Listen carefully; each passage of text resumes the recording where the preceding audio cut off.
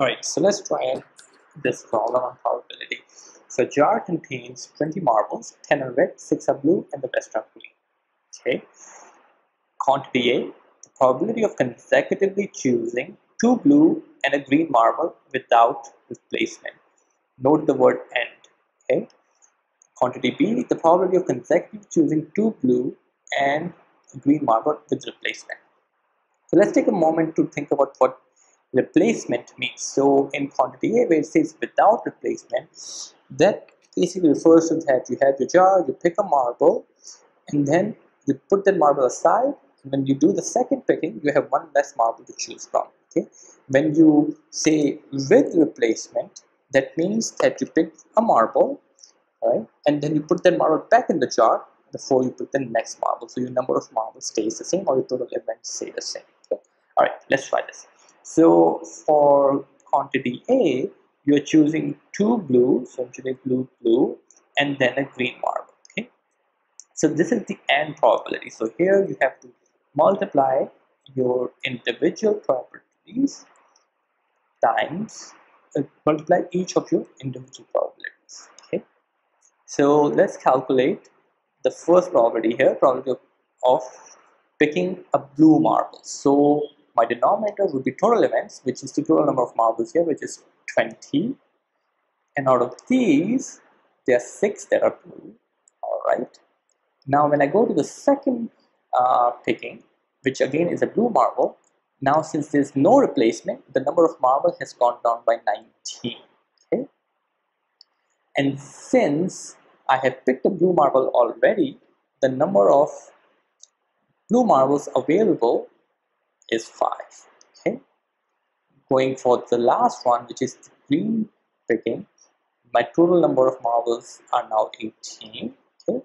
And the number of that that are green is 4 okay? All right let's simplify this.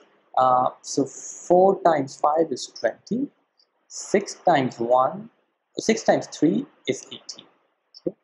So i'm left with 1 over 3 times 19 which is 1 over 57 all right.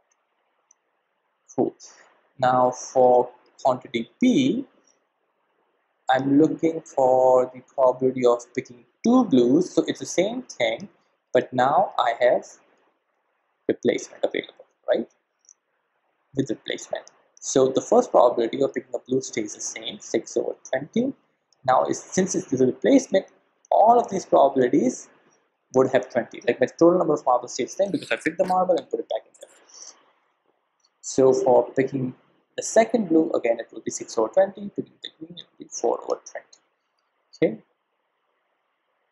So this would then um, give me, let's see, 4 times 1 times 5 6 times 6 will give you 36 20 times 20 will be 400 400 times 5 would be 2000 and I guess the simplest way is just to find the decimal values here to make the comparison. So 1 over 57 is point zero one seven, and 36 over 2000 is 0.018 okay.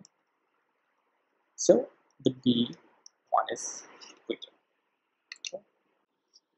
Here's another problem. Uh, so this one is one of the harder problems and definitely one of the hardest problems you'll see on, on GRE and it would actually if you are aiming to score 165 plus only then I would recommend you even attempt these problems. So a good I guess strategy is is that you should be able to identify the hard questions uh, so that depending on what your score range is you can decide whether whether you want to attempt it or not. Cool. All right. So let's see. So even though I've said that you know only attempted for 165 plus, I think it's a good um, exercise to go through this problem because a lot of the things involved here you'll see in in other simpler problems. This one combines many different things together, um, but elements of this would you would surely see in, in easier problems. So it's a good exercise to still do this.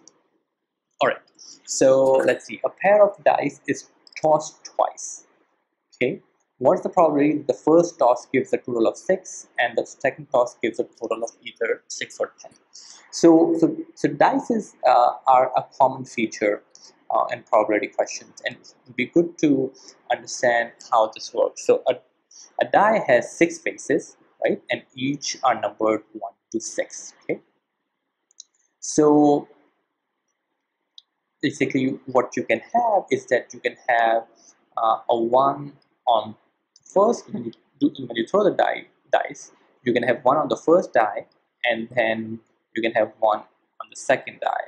Uh, similarly you can have one on the first die you can have a two on the second die. So the question here uh, is referring to the sum of whatever you get on each die so it says that the first toss gives a total of six so they're asking for the total that you get uh, when you uh, throw these dice. Cool. Uh, so if I, let's uh, read this probability statement again here. What is the probability that the first toss gives a total of 6 and the second toss gives a total of either 6 or 10? So the, both those scenarios are probability that we have, we have talked about are here. So the AND probability and the or probability. So the event that you want to find the probability is such that uh, the first toss gives you a total of 6. So my total is 6 and means that I should sum this up. No, I should not sum. I should multiply this, right? When you have AND, you do the product. And the second toss gives a total of either 6 or 10. So the second toss gives me a total of either 6 or 10. Now I know when I have the OR, I can break this second probability further, which is basically the probability of getting a 6, a total of 6, or a total of 10. Okay, or means that you have sum up the probabilities. So here is in the equation term all the probabilities that I need to find. Right? Okay, so, so let's start with the probability of getting a total of 6, right? So it would be good to kind of rehearse how exactly you'll get a total of 6. So maybe I can get uh, 2 on the first die and 4 on the second die. That will give me a total of 6, right? So I need to find all these combinations that will give me a 6, right? Okay.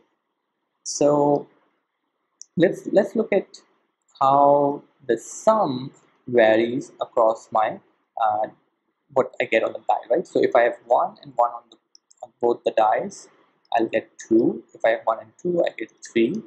And if I keep doing this till I have 6, so I'm keeping 1 on the first die and I'm changing the value on, this, on the second die, I'll go up to 7.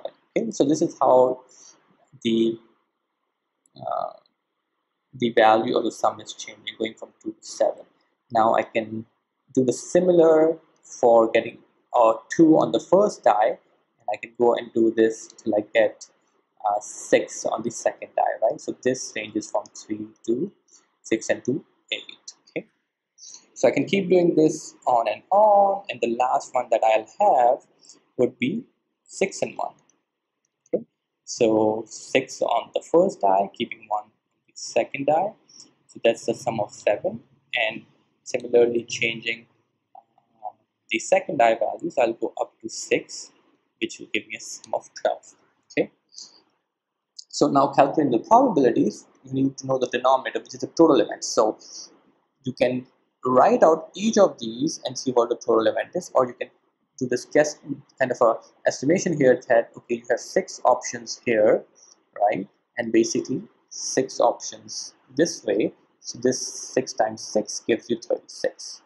okay So total events possible is 36. Another way, I guess shorthand, once you get good at this, is that you can say, okay, the first die, this is your counting uh, principle. Basically, your first die has six options, right? And your second die has six options. Basically, the product of this gives you the total events possible, the total options possible, which is 36. Okay.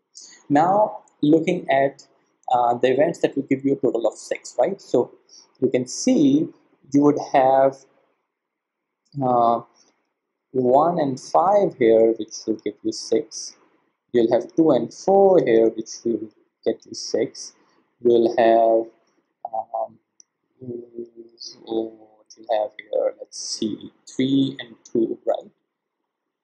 3 and 2 oops sorry 3 and 3 which will give you 6 then 4 and 2 5 and 1 and none on this one right? Because the sum is starting from 7 6 so so in total you'll have for your for, for your total of 6 you'll have this one this one this one that's 3 4 5 so in total you have 5 events happening.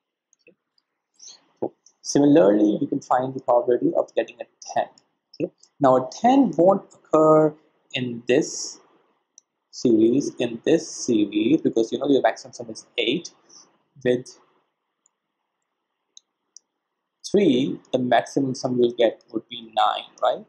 So from 4 onwards you're starting uh, the first row of a 4 is when you will start seeing a 10 4 and 6 will give you a 10 5 and 5 will give you a 10 and then uh, 6 and 4 so three options here for getting a total of 10 okay.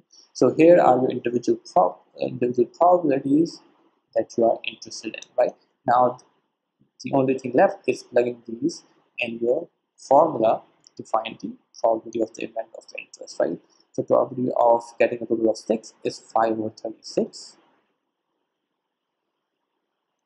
probability of getting a 6 again is 5 over 36 plus probability of getting a 10 which is 3 over 36 so if you do the simplification here you should get 5 over 162 okay lots of fractions to take care of cool. so again this is uh, definitely one of the hardest questions you'll see um, the trick is to, to understand this map of all the possible values that you'll get and once you get good at it a lot of things, these things can be visualized uh, rather than having this on the paper. Cool.